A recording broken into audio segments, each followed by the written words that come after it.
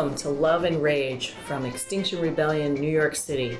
My name is Susan, and today I'm grateful for Genevieve Guenther from End Climate Silence for taking the time to talk with us about Extinction Rebellion's first demand tell the truth. Hey, Genevieve. Hi, Susan. Nice to see you. Thanks for having me. Thanks for being here. Tell us a little bit about how you ended up in this world of language and climate science. Well, I am trained as an English professor. I got my PhD in Renaissance literature from Berkeley, and my first book was about Renaissance aesthetics in poetry and drama. But after I became a mom, I started getting increasingly alarmed about the future I would give my son after I was dead. And I started to do more research into climate change. And I decided that I had a kind of moral responsibility to devote my freedom and my labor to trying to contribute whatever I could to solving this problem. So I took some courses in climate science. I did Al Gore's climate reality training at one point, but I became radicalized when the New York Times in 2017 hired Bret Stephens for their opinion page because I was deeply, deeply shocked that the paper of record, which I assumed was an ally in sort of my political consciousness, thought that climate denial was a legitimate political opinion. So I actually um, started a petition to try to get Stephens fired. And this petition, which ended up getting 40,000 signatures, did not, in fact, get the New York Times to rescind their offer to Stephens. But it did connect me to other activists in the community and to climate scientists, and it got me on Twitter. And in so doing, it sort of gave me a way to see into this movement and see how I could contribute to it. And I realized, especially after Stephens um, wrote his first column called A Climate of Complete Certainty, that I could bring my expertise in how language signifies and how people use language to propaganda effects in order to help clarify the project of climate communication and sort of move, you know, American politics forward, I hope. So yeah. words really matter. Words make a difference. I think they do. Yeah. So, you know, I love the fact that Extinction Rebellion has a lot of people that are not necessarily climate scientists who are so passionate and, and involved. And you don't, I, I know you took some courses in climate science, but you don't necessarily have to be a scientist to understand this issue. Why doesn't the media tell the truth? So the news media has a paradigm for objectivity, which um, has completely failed to uh, meet the climate crisis head on. Instead of telling the truth, what they do is they present two contrary opinions. This is false balance. They present two contrary opinions and step back and sort of allow the reader to draw his or her own conclusions about the opinions that they're representing. But what they've done in the context of climate change is they've represented climate science on one side, and then they've brought climate denial in on the other side as a kind of contrary opinion, as if science itself were a political opinion and not a practice that attempted to make objective statements about the world. This has been exacerbated by the climate deniers' strategy of politicizing climate science as if climate science were a political position. So, this kind of echo chamber has created this approach to climate change where um, climate denial has been presented as the kind of balance to climate science. That's sort of the background of this. And that's definitely gotten better. But the problem is that now that climate change has become a sort of polarizing issue because of this decades long campaign of organized climate denial, the media still feels paralyzed and feels incapable of telling the truth about it because it, they worry that it makes them look biased. In addition, of course, they have their own embedded interests because most of media outlets, except The Guardian in the UK, are still receiving funding from the fossil fuel industry. And even though there is a kind of gap between or a line between coverage and business, there is a way in which their business model is about representing business as usual and not contesting the very paradigm under which we're living our lives, which is what climate change requires us to do. I do think, however, that the print news media has done an extremely good job of starting to bring climate change into the stories they're telling about its causes and effects. Some outlets have not only increased the number of reporters they have writing about climate change as a topic, they've also started to mention climate change in their stories about extreme weather, in their stories about energy, in their stories about geopolitics, in their stories about immigration, helping readers understand that climate change really does affect all of these things that we're seeing in our daily lives all the time. Unfortunately, the broadcast news media, particularly the network news, is doing an absolutely abysmal job of bringing climate change into their coverage. They never mention climate change when they're reporting on extreme weather, and they almost always fail to mention when new studies come out in climate science when events like the warmest January on record are announced. Even just a few weeks ago, when Jeff Bezos, the billionaire that we all know and loathe, announced that he was going to dedicate $10 billion to a new climate solutions fund. You would think that this would be something that the broadcast news would be interested in covering because usually they cover the the behavior of billionaires with a kind of like slavish attention. But in fact, nobody even mentioned it except for David Muir on ABC. So, right now, the broadcast news media has a kind of blanket silence where climate change is concerned, and that's what End Climate Silence is focusing on mostly because most voters who vote consistently get a great deal of their news from broadcast news. And even though concern and alarm about climate change is rising among American voters, it's not anywhere close to what it needs to be. And it's mm-hmm. because people are uninformed, because their dominant news source uh, isn't mentioning climate change and not bringing it into their coverage about climate change stories that are actually already happening. Right. So, what you're saying is most people are not reading the New York Times. They're either listening to the radio or they're watching cable TV, let's say CNN, MSNBC. So, they're not really getting deep stories to begin with. They're getting superficial. And there's, you know, I always wonder is there money involved? Is there another reason why? these stories are not getting out there? Is this a conflict of interest with corporate funders? Have well, you looked into that? I don't know that corporate funders have directly told television news executives that they can't discuss climate change.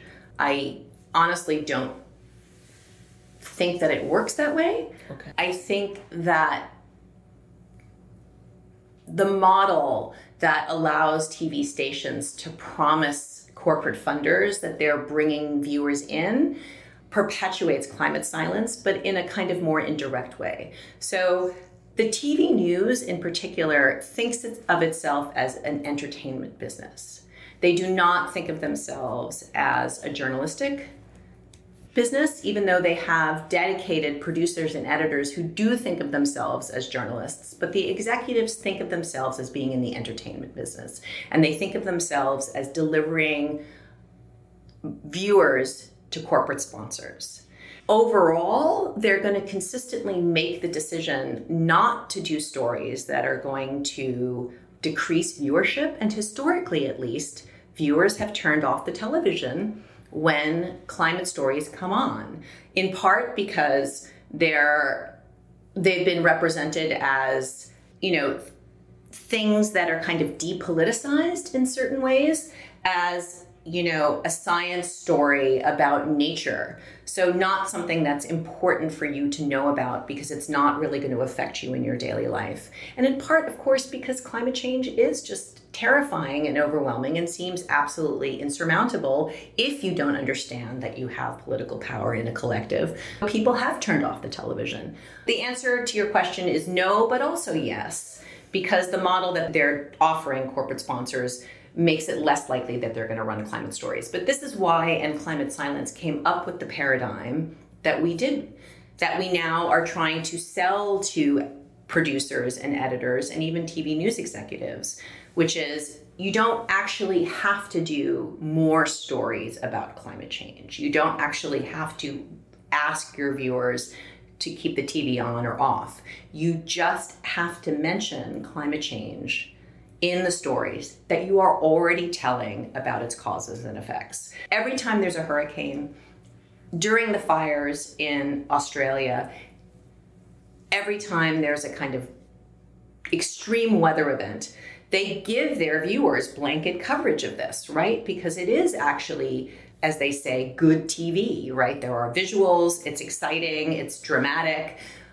So while you're delivering that quote unquote good TV about human suffering, you just connect the dots to climate change. Two sentences, three sentences, right? Which show that climate change is almost always exacerbating these events in some way. And then you mentioned that these events are going to continue to get worse until we stop using fossil fuels. What you've done there is you've delivered the news that you're already delivering, but you bring climate change into it and not for some sort of politically instrumental reason, but because you actually have a journalistic and a moral responsibility to tell the truth about what's happening in the world so that your viewers can be informed. But you can do it in a way that's not going to disturb this overall model of the television news as a form of entertainment.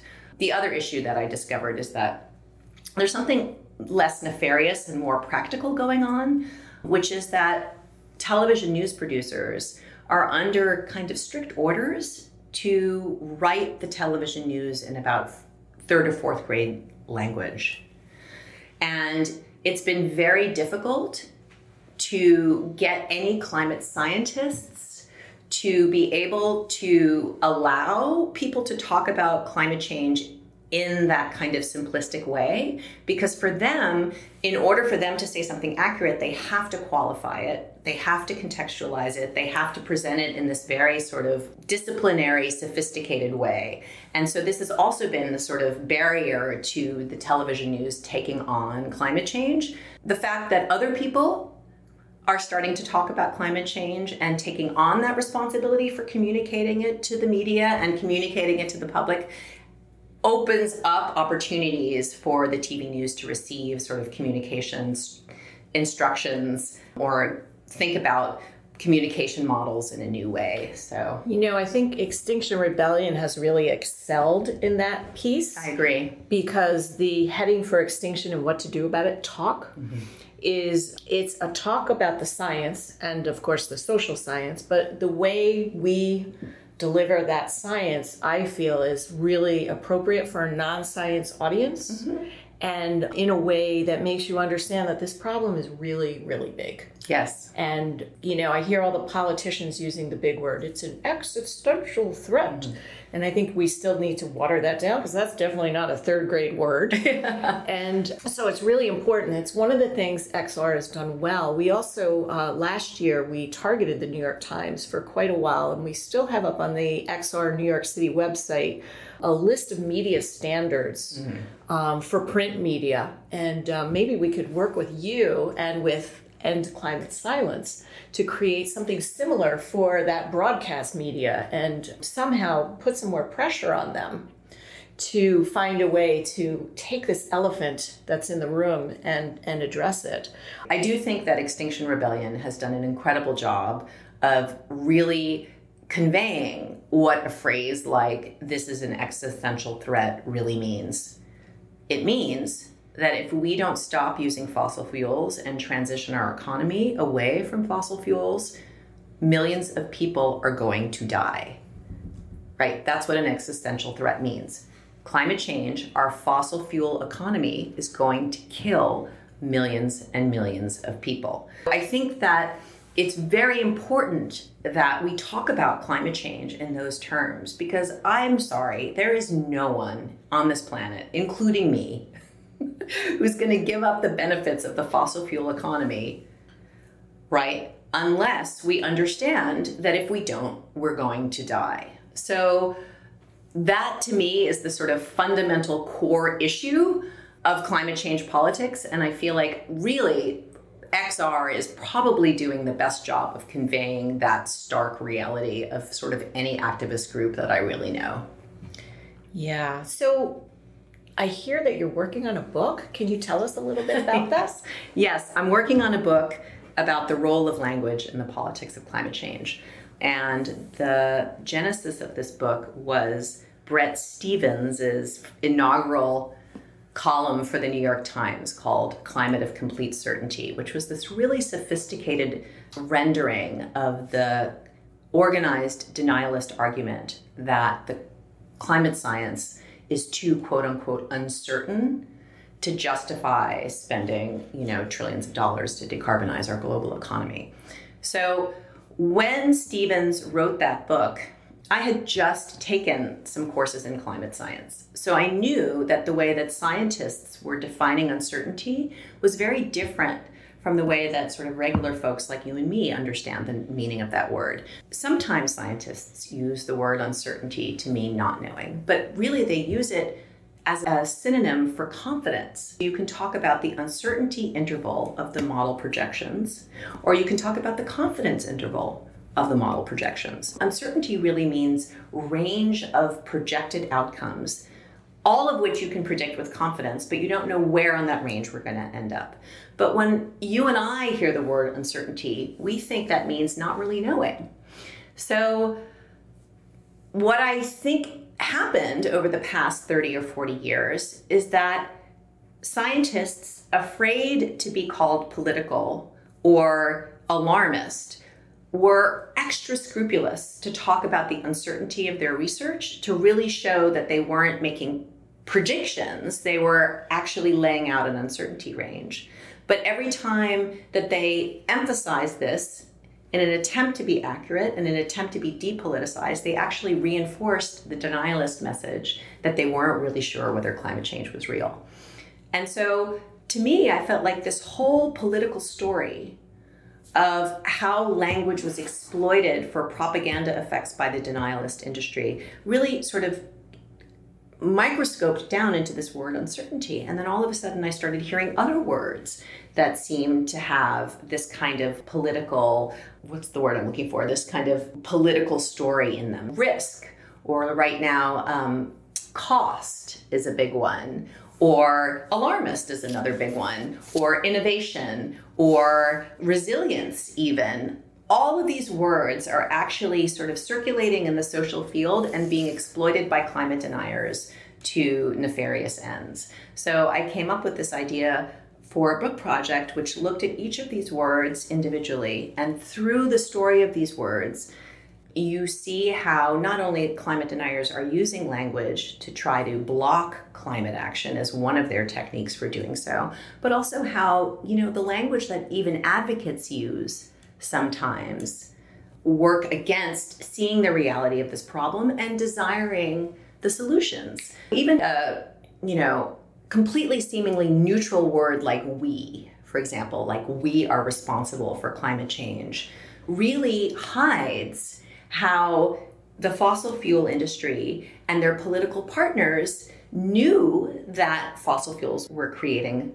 climate change, but did everything they could to lie to the rest of us so that we would be so embedded in this fossil fuel economy that it would be almost impossible to extricate ourselves. You are not responsible for climate change in that way, and neither are you, and neither am I. Yet, if you say we cause climate change, you obscure that differentiated responsibility under this kind of weirdly universal pronoun. Even in words like human or nature or, you know, truth, even do that kind of work. So the book is about not only the language that climate deniers use, but the language that we all use and how it obscures the truth about climate change and biases us against the solutions. And then the third part of the book is a re um, imagined vocabulary based on emotional, psychological, spiritual words like love and grief and courage that we all need to sort of revive and use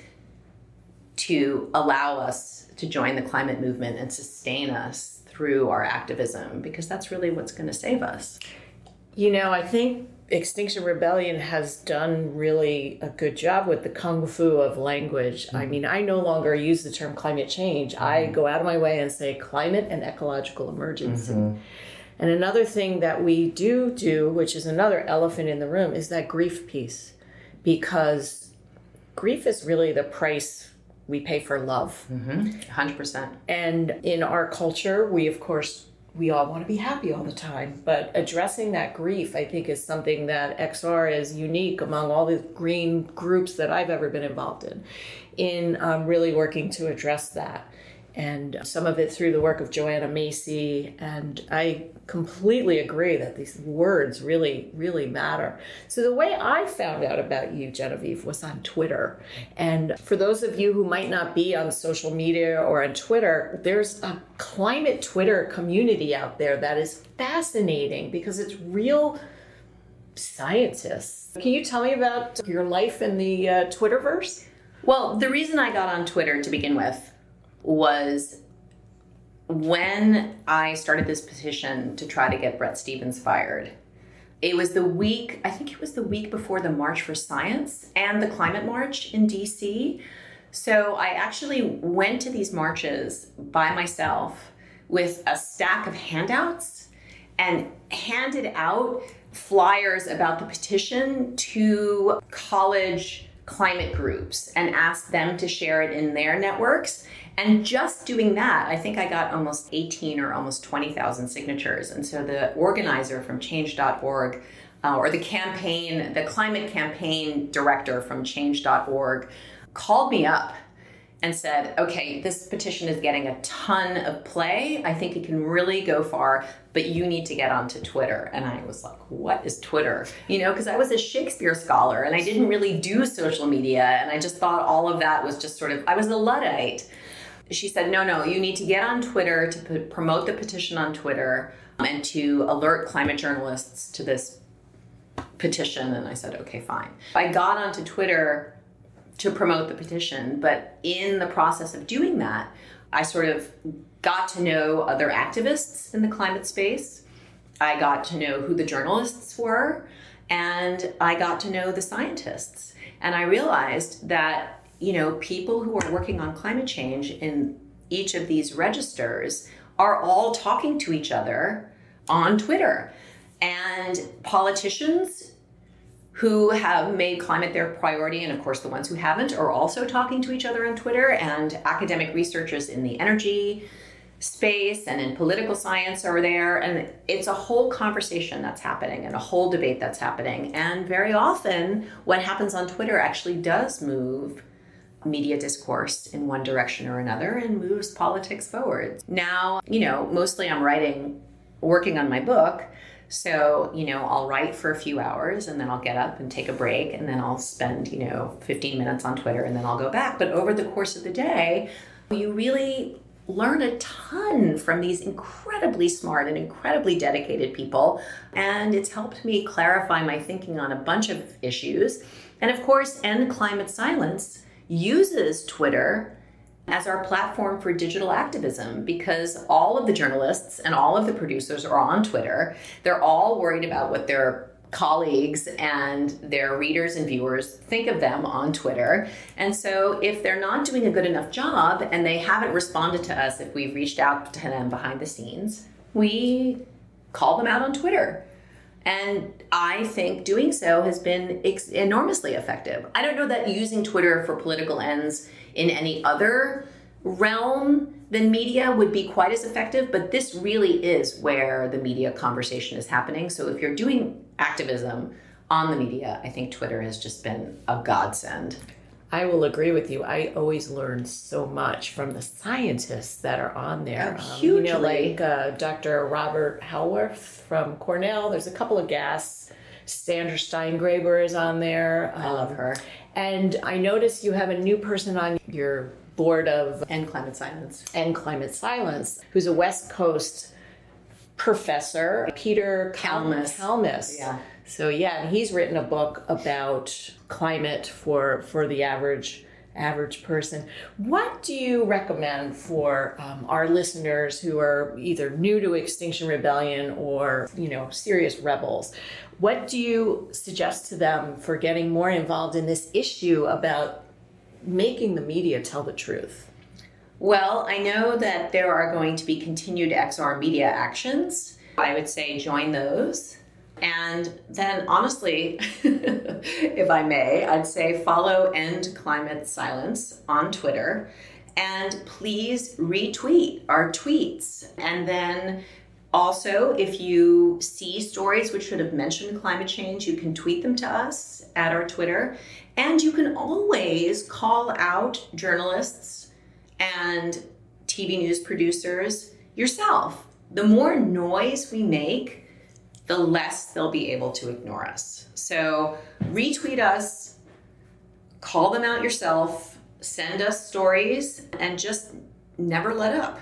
Really have no shame and never let up. And it sounds like you have a practice in which you you allocate, let's say, 15 minute blocks, and you go and you do that. Retweeting really helps to amplify Exactly. the message, and so that's that's great. So. What's your Twitter handle besides End Climate Silence? If we Yes. can follow you as well. Oh, yes, please follow me as well. Sure, I'd love to see you all on Twitter. I'm Dr. Vive, which is, you know, the word doctor, and then Vive is V I V E. Short for Genevieve. Short for Vive. Exactly. Okay, great. Anything else you want to tell the rebels out there in Extinction Rebellion? Well, thank you for joining the movement. You are needed. I'm with you, and have courage and have faith because, you know, systemic change, how it happens, it happens really slowly, almost imperceptibly, and then all at once. All at once, absolutely. Thank you so much, Genevieve, for coming and speaking with us today. Once again, this has been Love and Rage from Extinction Rebellion NYC, and we'll see you in the Twitter sphere and we'll see you in the streets.